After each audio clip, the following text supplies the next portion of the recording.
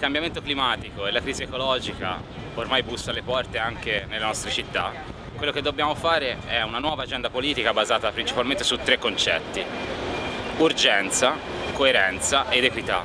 Mettere insieme una politica che vada a favore dell'ambiente, ma anche rispettare i criteri di equità e riduca le disuguaglianze in questa città è fondamentale, è l'unico modo con cui potremmo raggiungere una riduzione delle emissioni e al contempo poter garantire servizi a tutti. Questo significa ripensare tutto anche a livello di città. La lotta contro i cambiamenti climatici è la più grande sfida che stiamo affrontando nel nostro tempo.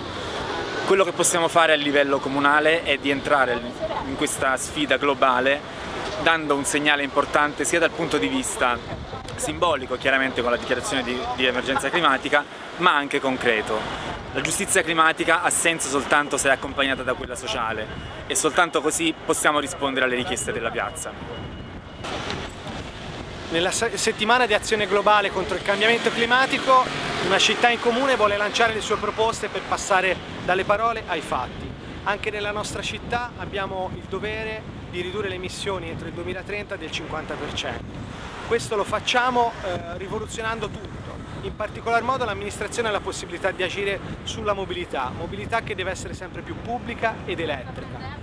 Alcune eh, nostre proposte riguardano ad esempio l'utilizzo massiccio del car sharing elettrico in modo da permettere a tutti eh, di poter transitare nelle aree della città che saranno proibite sempre di più alle auto a combustibili fossili senza però per questo eh, dover emettere CO2.